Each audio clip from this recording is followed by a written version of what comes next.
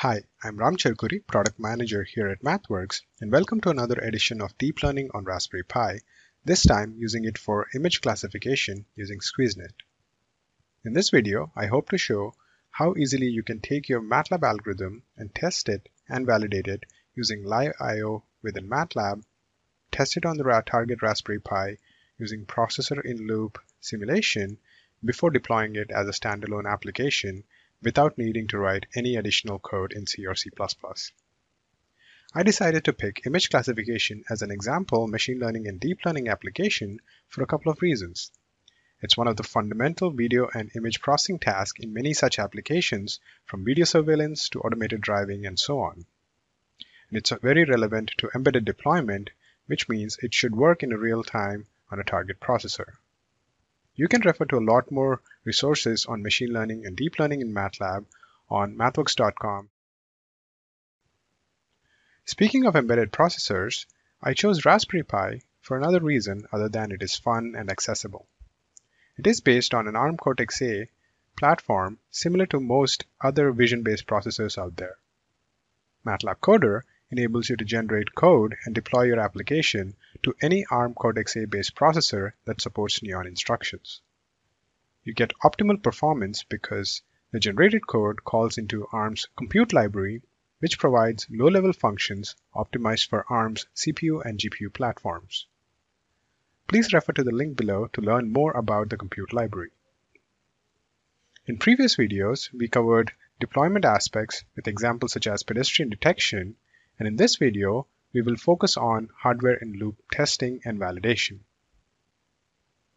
Here is our MATLAB algorithm that takes in an input image, does some resizing as a pre-processing step, uses trained SqueezeNet for inference, and then performs post-processing to identify and display the top five classifications.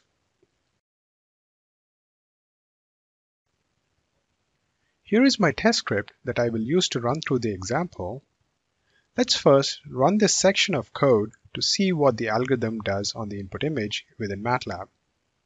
You can see that it gives us the top five classifications for the things in our input image. Now, I wanted to test and validate my algorithm with some live data. Here, I'm setting up the connection to a Raspberry Pi and I can use the webcam attached to it to get a live feed from the uh, camera and run inference on it in MATLAB. Pretty straightforward. Make a note to download the free Raspberry Pi support package to try this out.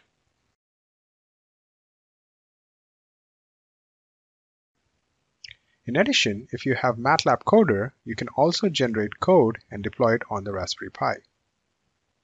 But first, how about we verify the generated code with the processor in loop so we can use MATLAB as our test bench to pass the input to the application on the target and get the result back into MATLAB for comparison.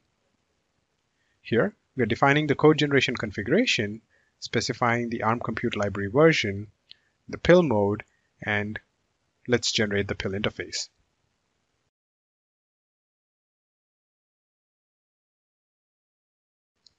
Once CodeGen is complete, we get this MEX file that I can use to run the application on the Raspberry Pi.